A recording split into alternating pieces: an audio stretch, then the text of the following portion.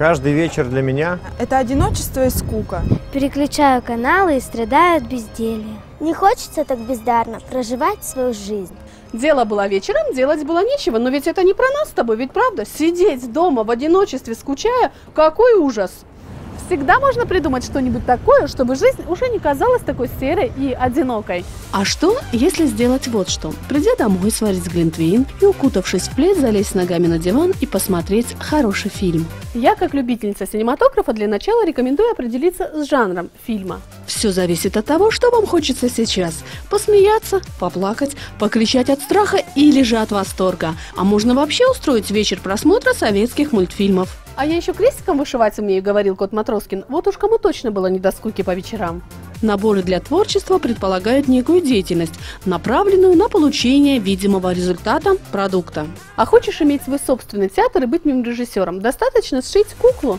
Шей, лепи, мастери, рисуй, раскрашивай, выжигай, занимайся моделированием, собирай пазлы. Надо же, тысяча деталей. Думаю, на пару вечеров я нашла себе занятие. Посмотри на цены, может быть тебе захочется купить все и сразу? Кто не мечтал о своем собственном свечном заводике? Вот он он. При помощи материалов можно создать вот такие шедевральные гелевые свечи.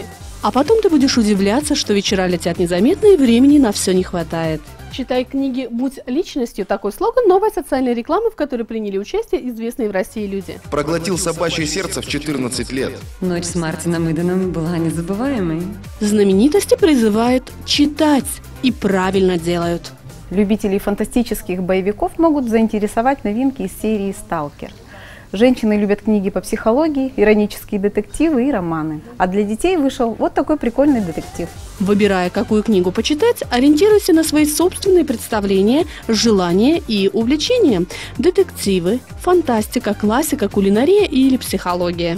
Азбука здравомыслия, охота за настроением, как стать здоровым, богатым и счастливым. Эти книги займут достойное место в моей домашней библиотеке. А может, благовещенец, ты сам начнешь писать мемуары? Присмотри себе ручку, карандаш для своих нетленных рукописей. Я недавно такое вычитал. Легкий способ бросить курить. А мои украшения из бисера Подруги оценили и думают. Что я ходячая энциклопедия. А спасибо за нескучные вечера, скажите мне, Татьяне, дежурной по рубрике.